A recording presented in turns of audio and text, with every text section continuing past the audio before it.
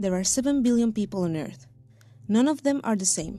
We don't see the same, we don't think the same, and we definitely don't believe the same. Everything in the world is perceived differently by each of us.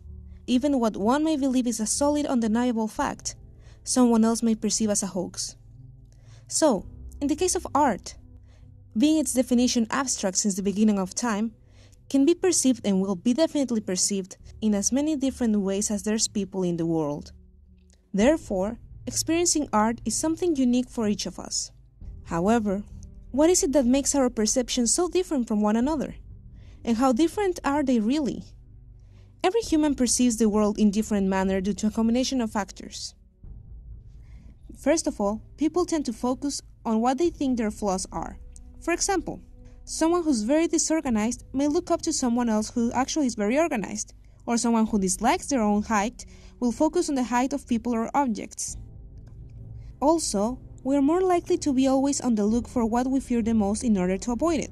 If there is an individual who is afraid of spiders, that person might be prone to be startled easily by anything small that moves and looks like a spider. Thus, this person would not like or feel comfortable around anything that resembles an arachnid. A very important factor combination is experiences and beliefs.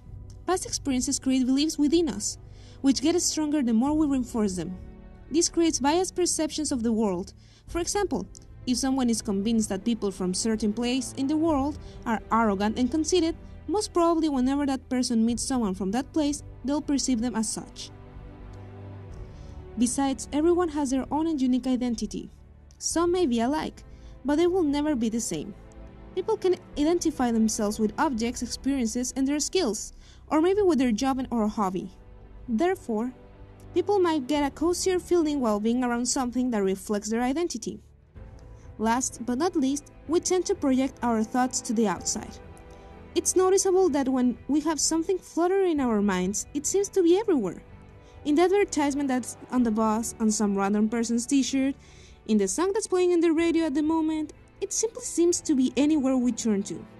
The same happens with the feelings those thoughts evoke in us. We project them in anything that might remind us of that thought, and we project that feeling onto it. Due to all these factors, some people might find a piece of art offensive while someone else might find the same piece inspiring, while the artist painted it with the intention of transferring a feeling of regret. Same art, different people, different perceptions. Maybe someone might not even consider it as a piece of art. Let alone perception. Some people won't even stop to give a short look to some pieces of art because they don't catch their interest at all. On the other hand, there are people who will go to the museum to admire their favorite painting certain day of the week or whenever they feel down because of how much they like it. People tend to feel attracted to things that resonate with them, what is going on in their lives, and how they feel about it. Because they feel support or reassurance that what they are feeling, doing, or going through, it's alright. That feeling of being in the right pathway is very rewarding and fulfilling.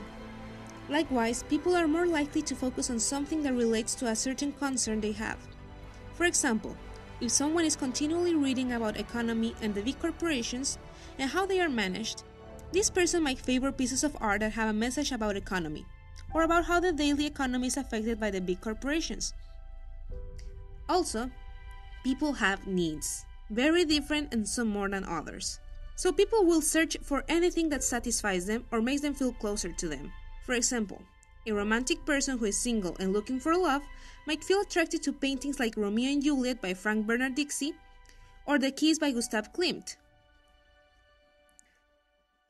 Art is not for everyone. Or maybe it is, but we don't see as art what might as well be. I like to believe that everyone experiences art every day.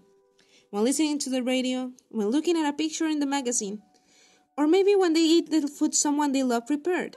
Meanwhile, art is also being experienced around the world in a more classical way, like going to a museum, to a play, maybe to watch and listen a symphony. Yet, traditional art is also in evolution. There are now artistic performances, conceptual pieces of art, and other movements that are spreading and growing through space and time. I believe art is anything that conveys a message, an idea or a feeling through any kind of medium in a well thought and elaborated manner. But that is just my perception of art, and how I like to experience it. How do you experience art? Have you thought about it?